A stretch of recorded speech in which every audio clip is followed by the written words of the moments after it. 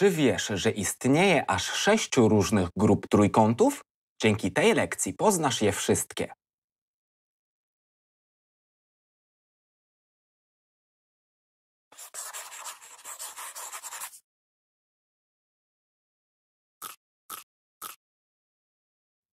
Widzisz sześć trójkątów. Podzielono je na dwie grupy.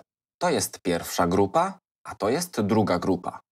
Na początku skupimy się na trójkątach z pierwszej grupy. Co możesz powiedzieć o tym trójkącie?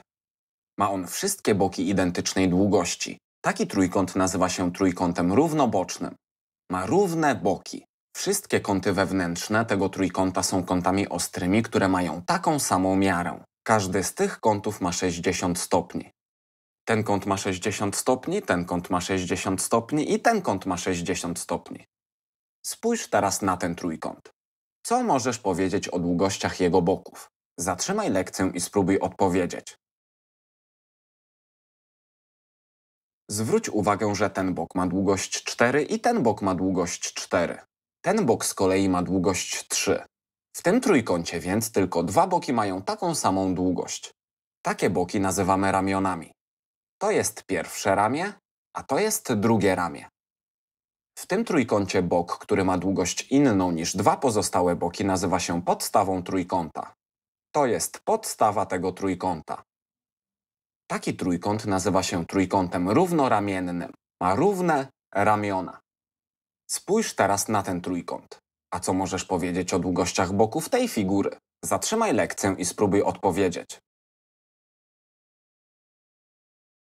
Ten bok ma długość 5, ten bok ma długość 4, a ten bok ma długość 2. Ten trójkąt ma wszystkie boki różnej długości. Taki trójkąt nazywa się trójkątem różnobocznym. Ma przecież różne boki. W trójkącie różnobocznym wszystkie kąty mają inną miarę. Ten kąt ma inną miarę niż ten kąt. Te dwa kąty są również inne niż ten kąt. Zauważ, że te trójkąty badaliśmy analizując długości ich boków.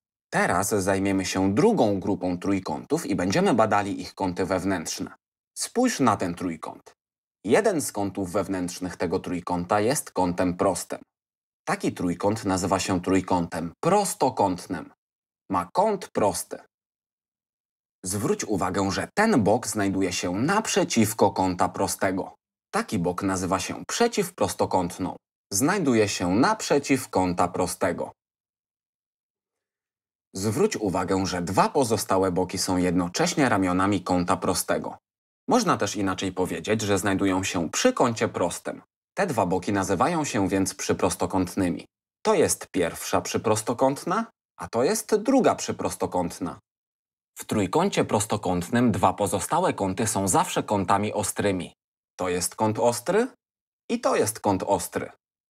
Skoro ten kąt jest ostry i ten kąt jest ostry, to są one mniejsze od kąta znajdującego się w tym miejscu, który jest kątem prostym. Oznacza to, że w trójkącie prostokątnym kąt prosty jest największym kątem wewnętrznym. Spójrz teraz na ten trójkąt. Zauważ, że ten kąt wewnętrzny tej figury ma miarę 105 stopni. Kąt, który ma taką miarę nazywa się kątem rozwartym. Ten kąt jest większy niż kąt prosty, ale jest mniejszy niż półpełny. Trójkąt, który ma jeden kąt wewnętrzny, który jest kątem rozwartym, nazywa się trójkątem rozwartokątnym. W trójkącie rozwartokątnym dwa pozostałe kąty są zawsze kątami ostrymi.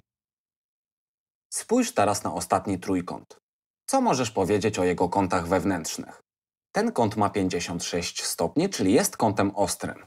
Ten kąt ma 78 stopni, czyli również jest kątem ostrym. Ostatni kąt ma 46 stopni i też jest kątem ostrym. Trójkąt, którego wszystkie kąty wewnętrzne są kątami ostrymi, nazywa się trójkątem ostrokątnym. To jest trójkąt ostrokątny. Ma wszystkie kąty ostre.